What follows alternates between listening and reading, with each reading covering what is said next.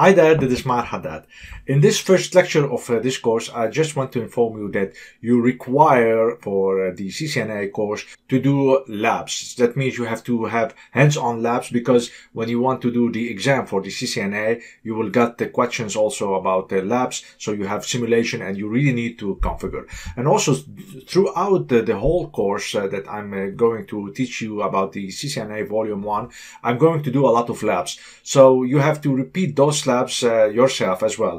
And to do that, there are different ways that you can do the labs. I'm just showing you here the four different ways where you can uh, use the uh, labs or the softwares that you can use them to be able to make the labs. And I'm going to show you one which I recommended, which is the last one, the Cisco Packet Tracer. So the first way to do the labs is to have real physical Cisco hardware. So that means you have the Cisco routers, you have the Cisco switches, and you have the cables, you have the computer, you have everything, and then you connect everything together to be able to do the labs. That's one of the options that you can do the uh, labs. Now, the thing with the physical hardware is that you require to have them. So that means if you have them, that's fine. You don't pay anything. But if you don't have them, you have to buy them or maybe you can rent a rack online to be able to configure the labs. Or maybe you can uh, get them uh, from lease from your uh, company. For example, if they have a lot of hardware, you can just take some to your home to be able to practice the lab in case you don't have them and you really want to do all the labs on physical hardware, I'm just going to show you that, for example, if you go to eBay, so let me just show you if you go to eBay and uh, on eBay, you can just search for CCNA lab. So you will see that you have a lot of offers like this one, for example. It's saying that you get we see here three uh, routers and uh, two switches by 162 euro. Of course, that's some money, but uh, in case you really want to do the labs on physical hardware, then you can buy them, I would say from eBay, but you can also buy them from any other websites. But I'm just giving you an example like what you can uh, expect. So you can see these are uh, uh, five equipments with their cables. You can see all cables and you can scroll down you can see what uh, you have here maybe you, you choose the better price and you can buy them so that's one option but again this is something it costs you some money the second way to uh, make the labs is to use the Cisco VIRL, which is Virtual Internet Routing Lab. What is this? This is made by Cisco and it will allow you to emulate labs. So you can create the virtual labs and uh, you can do the practice that same as you are working on real Cisco equipment. So if you want to get uh access to the VIRL, you have to pay also for it. So if you want, you can go to virl.cisco.com and over here this is uh, the Cisco Virtual Internet Routing Lab, so it is on the Cisco website. Now you can uh, check here all the information that uh, you want, and in case uh, you think that you want really to buy it, so just uh, click on Get VIRL, and it will uh, take you to the page here, and you see this cost 199 US dollars. Then you have access to this one, but you see if you go to it so just go inside to this. You see that you have access for 365 days. That's more than enough to prepare for the CCNA. I would say 365 days is more than enough. And uh, you should have an account on Cisco website to be able to buy this one. But you can see here, it's saying to you that uh, these uh, Cisco modeling labs allow you to create models and scenarios, use Cisco IOS network operating system, routers and switches, connect virtual and physical environment, add nodes, start and view packet uh, capture. So you can see you can have really a lot of uh, things you can do on the VIRL and a lot of network engineers use that. And uh, you see here that uh, this will support the following images, IOS uh, V, IOS uh, V layer 2, and the Nexus and the ASA as well over here. So you see that you can use it really to do a lot of uh, things. But that's more than for the CCNA, I would say, because for CCNA, you don't require all those things like ASA is not part of the CCNA, for example. The Nexus also. So, uh, that's fine if you want, for example, to continue your study after the CCNA to go to the higher level. Having this, uh, the VIRL, that's also a, a nice thing to do. Now, the third thing that you can do also is to use the GNS3. GNS3 is an emulator. That means it will emulate for you the Cisco IOS. You will gain access to the Cisco IOS as you are really working on real equipment. All right, so GNS3 is software free of charge. You can download it for free. But the problem is that you require to have valid Cisco IOS image. So we really need to have Cisco IOS image to run on GNS3. And uh, to get those images, this will cost also you some money. So uh, that's also a solution in case you have already some Cisco IOS images, then you can just download GNS3 and then after you download it, you install it and then you connect uh, those IOS images to the GNS3 and it works perfectly. And uh, I can show you that if we go to the website of GNS3. So we can go to gns3.com so here is the website of GNS3. You can see you can do free download. You can just download it, but also there are a lot of things that you can read here, like the documentation, if you want to know how to run the GNS3. And uh, there are also community here, and uh, they have uh, here the software that uh, you can also watch some videos if you want to know how to use the GNS3. So this is also a nice way to do, and here they put the minimum requirement that uh, you require to have as operating system, processor, memory, and so forth. And uh, GNS3, a lot of engineers use it because it's uh, free, but you only need to have the uh, Cisco IOS image, but then you can run an environment and uh, you can just connect the routers and you can put switches and uh, you can run everything on one computer without having physical hardware. And what it does, it just emulate the uh, IOS. So it doesn't uh, just make simulation, but it will emulate. That means you will gain the real access uh, on the Cisco IOS as you are working on physical hardware. And the last thing that I want to show you is to use the Cisco Packet Tracer. And this is, I just put it here, it's recommended. Why it is recommended? Because one, it is made by Cisco. So Cisco is the creator of this uh, simulation software. Two is free of charge. You can get it for free. And the, good thing that I'm going to show you in this video how you can get the Cisco Packet Tracer.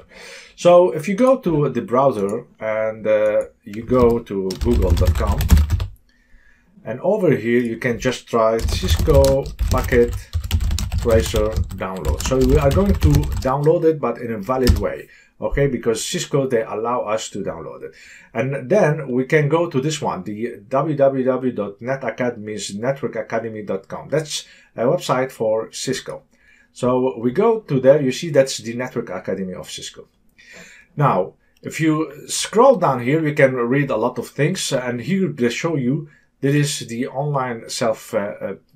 So this is intro to packet tracer. This is a course that you can register in. It's for free. You can just register to it. You don't have to watch the course. It's 10 hours actually, the course. But uh, once you register to it, you can download the packet tracer. So if you want, let's uh, go to it inside of it. And you see this is the introduction to packet tracers. You see the length is 10 hours. It costs free.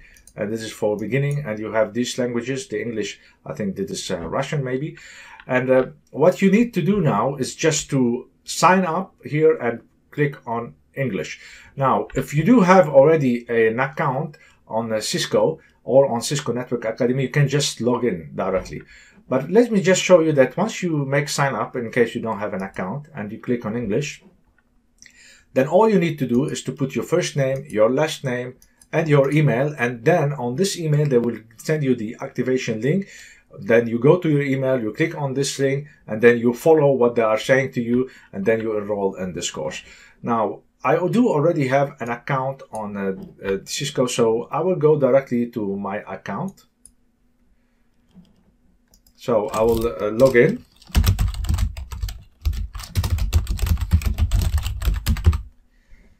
So you can see that uh, this uh, login is uh, on the Cisco website.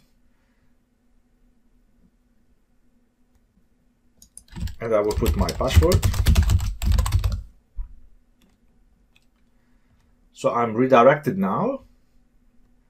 And here we go. So I'm inside my uh, uh, account here. Here what you can do, you can just go to uh, courses and uh, let's check all courses.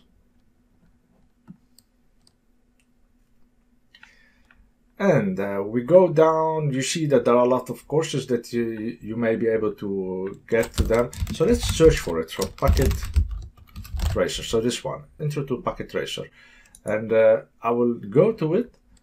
And now, once I am here, I will say sign up today. But because I do have already the account, then I should be able to sign out directly. So here we go. You have successfully enrolled in the Introduction to Packet Tracer English. Very good. So now what I need to do, I just have to go to the course, launch course. All right. So in uh, this course now, you can, if you want to watch everything, that's fine because that's uh, a course by itself and it gives you a certificate of uh, course completion. So that's uh, possible. But what is important is to go to resources here and here you can go to download Packet Tracer. Alright, so the Packet Tracer is more than enough to be able to follow the CCNA. And over here on download Packet Tracer, we can go here and over here. You can see this is for Windows you have 64-bit, 32-bit. This is for the Linux in case you have Linux operating system, and this is for the Mac operating system.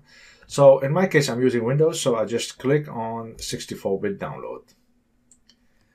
And you see that the packet tracer is uh, having a size of 145 megabytes. So uh, let's wait uh, a minute or so until I have this software downloaded on my computer and then we are going to install it and to show you a little bit about it. All right. So the file has been already downloaded and you can see it is over here on my uh, desktop. So let's go to it just to install it and uh, I will show you once we do the installation how you can use the packet tracers. So I will say next, next, next. And you can see it's a matter of just saying next, next, next, and then you will see that it's installed. That is the latest version of the Packet Tracer, Cisco Packet Tracer, because they had a lot of uh, versions. So uh, once you enroll in uh, their course, you have the latest uh, version. And if you want to know more about Packet Tracer, you can also watch the course because you are already enrolled to it and it's for free. So why not? You can also watch. But I don't think you need that. I will just show you that directly right now, what you can do with the Packet Tracer. So let's see, would you like to run multi-user when application start? Not really, so and now this is the packet tracer. So let's put it here. So this is the packet tracer. You would require here to log in again. So please put your username and password that you have created. I'll put mine.